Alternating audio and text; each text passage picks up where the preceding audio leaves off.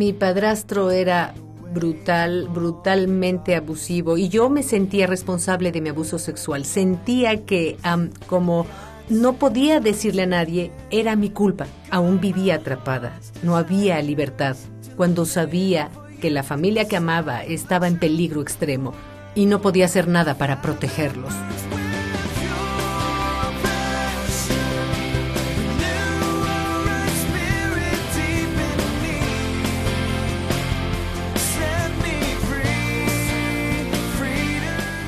Fueron días que edificaron mi carácter. Hubo días en que sentí que enfrentaba el mundo sola, pero tenía un gran deseo de superarlo. Bienvenidos a Pasión Pura. Me llamo Stasha Freeman. Muchos niños en nuestro mundo actual crecen sin una voz. Nadie habla por ellos, nadie los protege, nadie evita todo ese mal que le hacen sus perpetradores. Angela Williams fue una niña así. Es la autora de Sufrimientos a Zafiros. Angela está aquí para contarnos la historia del abuso extremo, sexual, físico y emocional que sufrió la mayoría de su infancia a manos de su padrastro y la desesperación que experimentó al tener una madre que no la defendió. Si estás buscando un héroe, no busques más. Personas como Angela son héroes aquí en pasión pura. De niña eh, siempre sentí que estaba en problemas. Mi casa era una zona de guerra y me acuerdo que me sentía muy aislada. Mi padrastro era brutal, brutalmente abusivo. siempre me ponía en situaciones sin salida. Tengo recuerdos muy duros de encierro en un auto caliente y que no me dejaba salir hasta que estaba a punto de sofocarme. También recuerdo que me obligaba a sentarme en una mecedora en nuestra sala y eh, no podía moverme y eh, necesitaba ir al baño y eh, no me atrevía a moverme de esa silla. Y en ese momento era niña, me mojaba el pantalón y no sabía qué hacer y mi padrastro luego tenía una razón para pegarme y creo que esa era su intención para tener poder y control sobre mí desde muy niña y tuvo éxito en hacerlo y el abuso se volvió más y más severo, hubo abuso verbal y abuso emocional y a una edad muy temprana me tocó y se volvió más y más intenso cuando crecí. recuerdo que entré al jardín de niños, veía alrededor y sabía que ninguna otra niña pasaba por lo que yo enfrentaba en casa y sentía esos momentos de seguridad en la escuela, pero tenía que ir a casa y enfrentar todo el abuso horrible otra vez y nunca hacía suficiente, nunca hubo un momento donde sentía que tenía éxito en la vida. Y todo el abuso se intensificó al pasar los años de mi niñez. Mi padrastro insistía en que mataría a mi madre si yo decía una palabra tenía una responsabilidad total por su seguridad, así que tomé esa amenaza muy en serio. La única vez que intenté decirle no fue verbalmente, fue algo no verbal. En cuarto grado, o de hecho fue en tercer grado, tomé una botella de vitaminas creyendo que eso haría algo para lastimarme. Claro, la maestra llamó a, mis padres y dijeron es una niña muy dramática, solo quiere atención y luego abusaron de mí cuando llegué a casa y en cuarto grado le dije a la maestra que me habían violado y llamaron a mis padres de nuevo y ellos dijeron que estaba viendo muchas telenovelas y que había tomado las palabras de las telenovelas. al pasar por la pubertad, ah, mi padrastro comenzó a usar condones conmigo. Yo ponía los condones en lugares donde mi madre los viera, esperando que fuera una clave nunca tuve las palabras, nunca tuve el valor de abrir la boca y decirle a mi madre, lo intenté con otras formas que fallaron y era obvio que era una niña que estaba muy herida, era obvio que sufría y me sentía muy aislada en una prisión de sufrimiento en la que sentí que no había salida. Nunca sentí que mi madre me protegiera, nunca sentí que ella tendría el valor o la fuerza o la confianza de defenderme. Hubo muchas veces en las que fui brutalmente golpeada. Un día en particular, mi padrastro me sostenía la cabeza dentro del excusado, me la sostenía bajo el agua y gritaba y me pegaba al mismo tiempo. Y recuerdo haberla oído a la distancia gritando eh, ya basta, deja de golpearla. Pero ella nunca entraba al cuarto, nunca intentó físicamente rescatarme. Y yo iba al salón de belleza con ella, era su tarde libre. Y las chicas que estaban ahí comentaban los golpes de mis piernas y decían, eh, ¿por, ¿por qué ella tiene esas marcas en las piernas? Mi madre decía, se porta terrible y su padrastro es muy estricto. Siempre tenía una respuesta para el mundo exterior y por dentro estaba en un lugar de negación donde intentaba no ver nada o justificaba que en realidad no era tan malo, que los golpes y el abuso no, no significaban nada. tenía que ser una niña fuerte y mm, guardarme las lágrimas y ser muy dura, intentar salir de eso. No era suficiente que sintiera que estaba aislada en esa prisión de sufrimiento, sino que otros niños comenzaron a burlarse de mí porque si estaban en la calle pateando la pelota y rodaba a mi patio, mi padrastro de inmediato tomaba la pelota. yo no podía tomarla y aventárselas.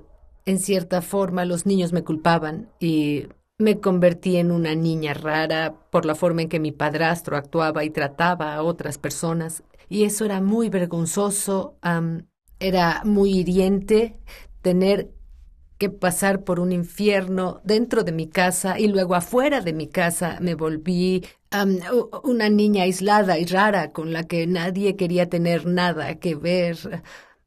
Eso fue muy doloroso y siempre quise ser aceptada y siempre quise ser parte del grupo, siempre quise dar ese paso fuera de mi patio y que me invitaran a jugar con la pelota. Y en lugar de eso, tenía que verlos desde el otro lado, desde ese límite que nunca debía cruzar. Y creo que el mundo imaginario que creé se volvió mi soledad y casi mi sanidad, porque en ese mundo yo sabía que podía hacer lo que quisiera hacer en la vida, sabía que podía crear amigos que me aceptarían, sabía que podía jugar.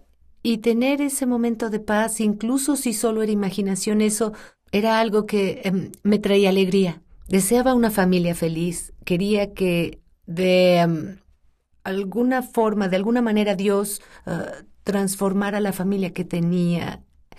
Y em, me llevó tiempo Solo vivía en esa fantasía por unos minutos y siempre anhelaba eso, siempre lo anhelaba.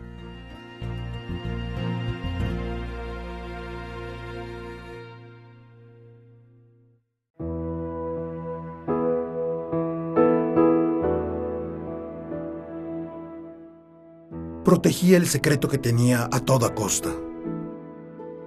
Te sientes atrapada en ese círculo vicioso de culpa y vergüenza. Intentaba cuidar a mi familia para que no resultaran heridos. Era como estar en un pozo de alquitrán.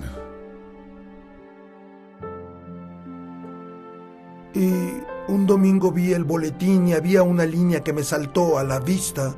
Ah, Grupo de apoyo para adultos sobrevivientes de abuso sexual infantil.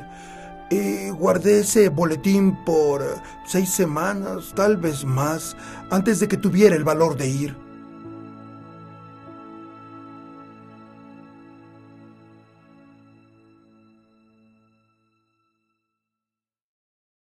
Cuando tenía 15 estaba determinada a salir de esto, iba a ser el final, no seguiría sufriendo abuso brutal casi a diario y las cosas a las que me sometía porque sus fantasías estaban volviendo más perversas. Y mi madre era cada vez más y más retraída. A los 15 años encontré a mi padre biológico, quien me había dejado de bebé, y uh, tracé ese plan para unirme al equipo de animadoras y poder uh, ir a la ciudad que estaba a una hora de donde mi padre, uh, mi padre biológico estaba viviendo. Hice eso en total secreto. Fue un eh, gran acto para hacer que mi padrastro me dejara ir a las pruebas para animadoras y que me dejara salir de sus límites, de sus fronteras de control que tenía en mí. Por gracia de Dios salté más alto que otra chica y hice más maromas y sonreír más grande y entre las animadoras. Y ese verano fuimos a una ciudad al norte de donde vivíamos, a una hora del campamento, y me salí a medianoche y encontré una cabina telefónica y un directorio y llamé a mi padre biológico y fue uno de los días más decepcionantes de mi vida porque me vio y no hubo remordimiento por haberme dejado. En verdad no había amor en sus ojos, había solo frialdad y había un desprecio real para cualquier relación entre madre y padre, es decir, entre padre e hija. Así que yo decidí que él no iba a ser mi libertador, no iba a ser quien me rescatara y cuando llegué a casa estaba más vencida que nunca antes y el abuso continuó. A los 17 años decidí que ya era suficiente y mi padrastro descubrió que me había escapado y había encontrado a mi padre biológico y eso lo enojó hasta el punto en que tal vez me dio la peor paliza que haya recibido.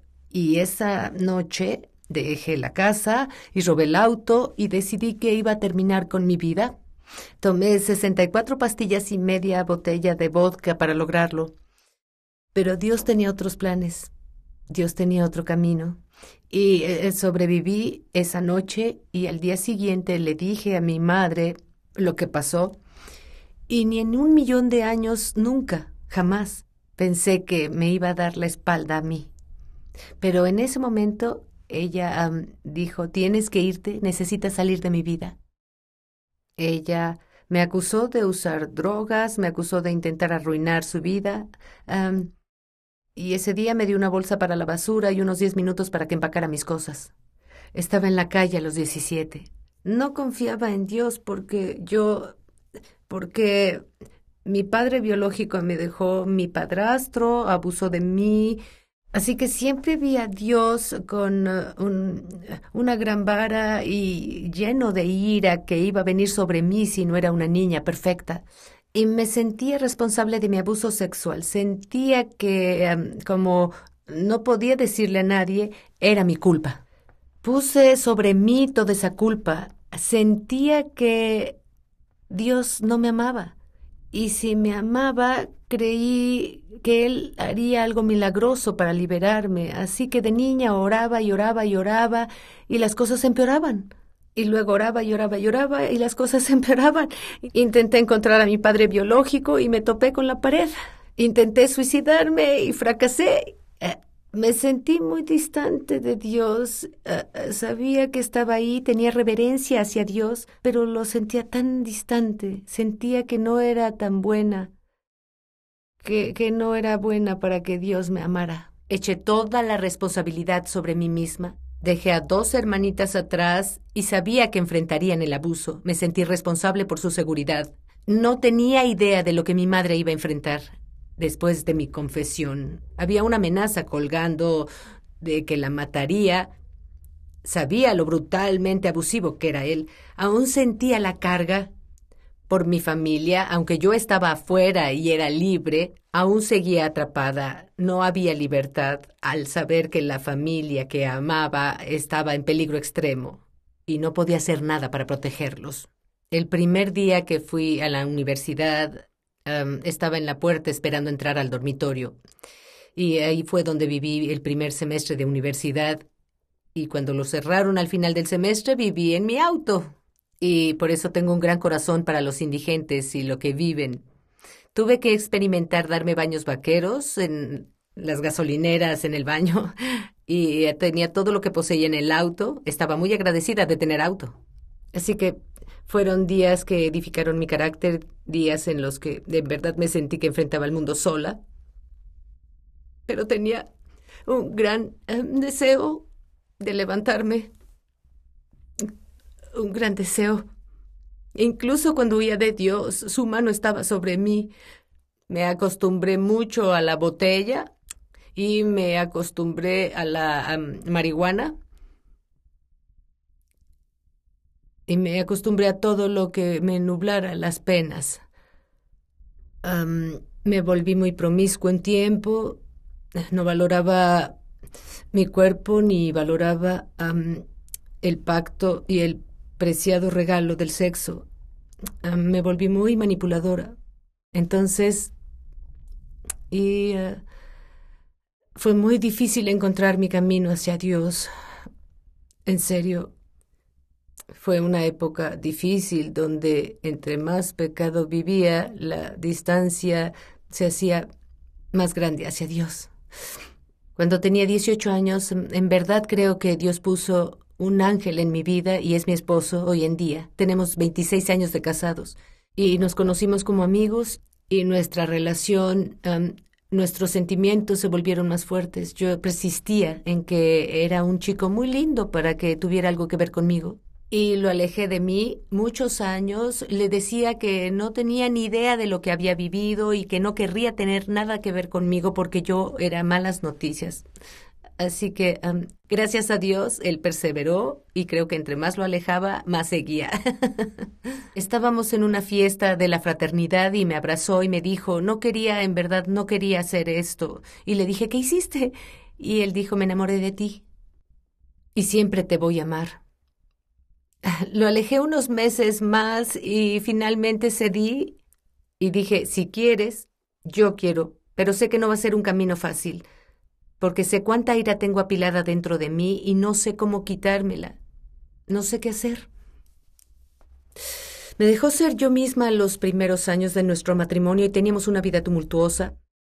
Quería ver qué botón apretar para que se fuera, porque todos en mi vida a quienes amé me hirieron y lo puse a él en esa categoría y dije, con el tiempo te irás. Lo sé, solo tengo que saber qué botón presionar. Un día me sujetó contra el piso y dijo, ¿cuándo vas a entender que jamás te voy a dejar? Podemos ser miserables o ser felices, pero es elección tuya. ¿Y la ira se apagó? Mm. Yo podría ser feliz. Mm. No sé cómo se siente, no sé cómo es. Y creo que Dios me estaba trayendo. Había canciones y siempre me gustó Billy Graham. Parecía que cada vez que encendía el televisor estaba Billy Graham, dándome un mensaje de que Dios me amaba. Dios continuó hablándome a través de tutores y mujeres y tenía una tía y una abuela que no dejaban de hablar sobre Dios en mi vida y oraban por mí. Y fue un cortejo tan lento, pero estoy agradecida por ello. Estoy tan agradecida de que Dios no se diera por vencido y siguiera amándome y cortejándome. Y mi relación con Jesucristo es la relación más importante en mi vida ahora.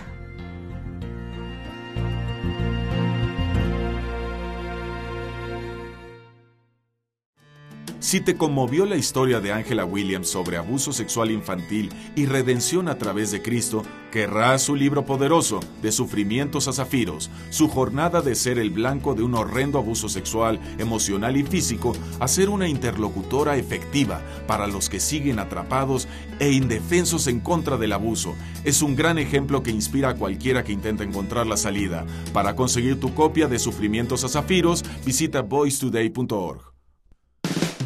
¿Quieres más? Tenemos videos gratis y otros recursos en línea, al igual que aplicaciones gratis para iPhone y Android que presentan todos los programas que hemos producido. El sitio web de nuestro principal ministerio es masterlinklife.org.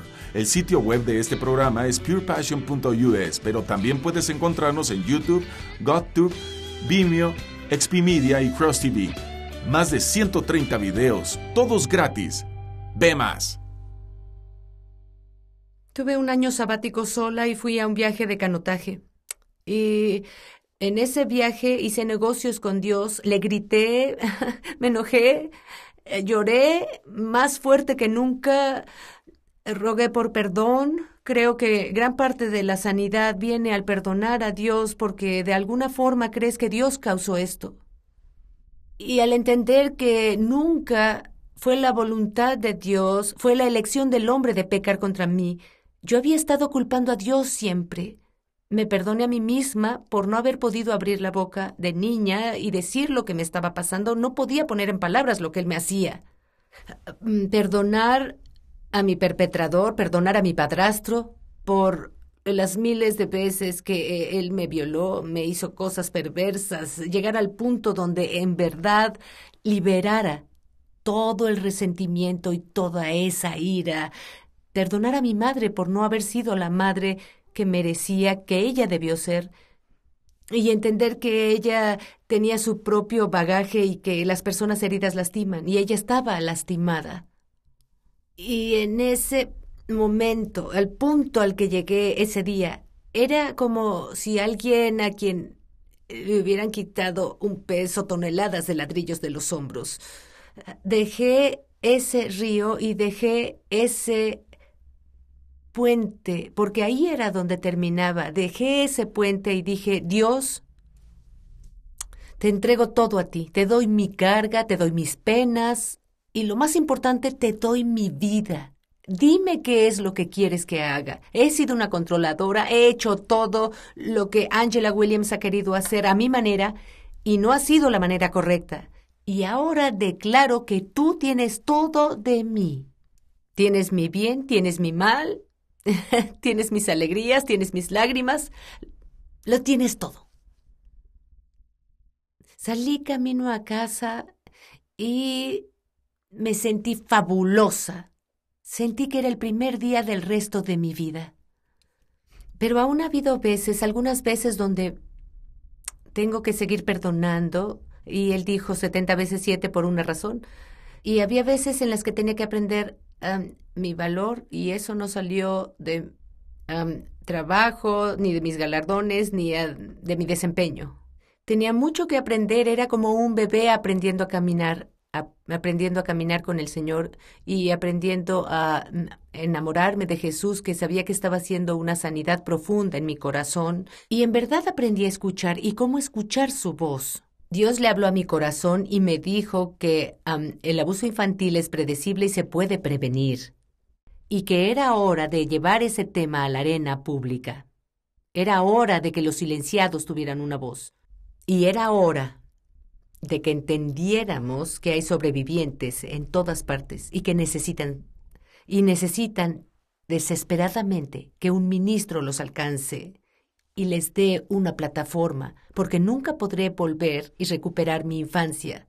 Jamás se fue. No puedo recuperar esa inocencia que se perdió. Pero puedo proteger a la siguiente generación de niños al construir un ejército que nos apoye. La misión de Voice Today es romper el silencio y el ciclo de abuso sexual infantil. Y lo hacemos en tres pasos. El primero es la conciencia. Tenemos que hacer que las personas hablen de ese tema. Eso es tan importante, es una epidemia de silencio y mantenemos la cabeza enterrada por mucho tiempo. Les eh, enseñamos talleres de prevención, sentimos fuertemente que necesitamos educar a una sociedad vigilante para que puedan reconocer en primera cómo proteger a un niño, cómo evitar el abuso sexual infantil y puedan reconocer los signos cuando un niño está en problemas que entiendan el proceso de divulgación y entiendan que los recursos están disponibles para intervenir y ayudar al niño a encontrar seguridad. Y al final les damos recursos para la sanidad. Ahora tenemos talleres, talleres de sanidad y tenemos un grupo de apoyo y esperamos tener más grupos de apoyo en todo el país. Y tenemos un retiro tanto para hombres como para mujeres una vez al año para mujeres y el próximo año será el primero para hombres. Publicamos recientemente Diálogo difícil para los corazones tiernos, que es un taller fenomenal porque ayuda a los adultos a entender cómo enseñar a los niños a poner límites personales, cómo enseñar a sus niños sobre la amenaza del abuso sexual infantil y cómo tener herramientas de qué decir estamos condicionados a tener un diálogo en la pubertad sobre sexualidad y los medios ahora están educando a nuestros hijos sobre el sexo. Este libro les da consuelo a los adultos, y yo digo adultos porque no solo es para padres que necesitan proteger a los niños, todos los adultos necesitan proteger a los niños, los abuelos y las tías y los tíos necesitan involucrarse en este proceso. Esto enseña lo que un niño debe saber de su desarrollo, a qué edad, y qué se le debe enseñar a nuestros niños y cómo estructurar esas conversaciones y cómo encontrar momentos de enseñanza para hablar de sexo y sus límites. Nuestro segundo libro es Camino a la Sanidad. y está diseñado para el proceso de sanidad. Son los pasos que debes dar en ese camino. Y sentimos profundamente que el primero es romper el silencio, porque hay una gran cantidad de vergüenza en ese silencio y en ese secreto que se impone la víctima sobre sí misma. Y esperamos que en todos nuestros talleres podamos llevar ese cambio social. Es uno de los estigmas que debe quitarse de la víctima. Inadvertidamente en nuestra sociedad, cuando ellos hablan o descubren que han sufrido abuso sexual, dicen, ¿por qué no dijiste nada? Hacer esa pregunta impone vergüenza en la víctima. O cuando dicen, eso pasó hace mucho tiempo, ¿no lo has superado? ¿O necesitas superarlo? Necesitamos educar a la sociedad sobre cómo ayudar a un sobreviviente a sanar para que pueda vivir en ese lugar de victoria.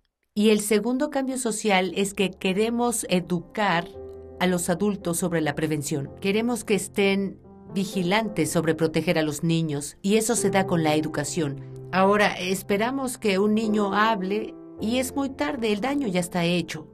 Hay adultos que siempre me dicen, bueno, mi hijo me diría y quiero decirles que cuando su hijo les diga, ya van a estar traumatizados, ya va a ser muy tarde. Esas son nuestras metas. Queremos llevar el tema a la opinión pública. Queremos educar en la prevención y sanidad y queremos ser la fuente de ese tema. Como sobreviviente de 14 años de abuso sexual, quiero decir que esto no es tu culpa. Ese sentimiento de ser lastimado, de no ser normal, de casi vivir en una cueva oscura, emocionalmente aislado, no es el lugar donde Dios quiere verte. Si eres como yo y huyes de Dios, no sientes que puedes tener una relación con Dios, es una mentira del enemigo. Dios te ama y nunca, nunca quiso que fueras abusado, que sufrieras lo que sufriste. Nos encantaría ayudarte en este proceso. Contáctanos en voicetoday.org Puedes contactarnos aquí a través de nuestra página de contacto o puedes llamarnos. Toda nuestra información de contacto está en la página web, repito, voicetoday.org y nos encantaría ayudarte en lo que podamos a través del proceso de sanidad. Nunca deja de impresionarme cuando un niño que ha sufrido de abuso severo termina siendo un adulto cariñoso, involucrado y perdonador. Es el poder de Jesucristo. El enemigo quiere el abuso para mal, pero Dios quiere convertirlo en una redención, algo incluso más poderoso que el diablo que lo causó. Puede ser una larga jornada y es difícil, pero la Biblia nos da la promesa en Filipenses capítulo 1. El que comenzó el buen trabajo en ti será fiel para completarlo hasta el día que venga Cristo. Vuelve a vernos la próxima semana cuando traigamos otra historia impresionante sobre lo que Dios puede hacer para rescatar y transformar la atadura sexual y el quebranto. Para Pasión Pura, soy Stasha Freeman.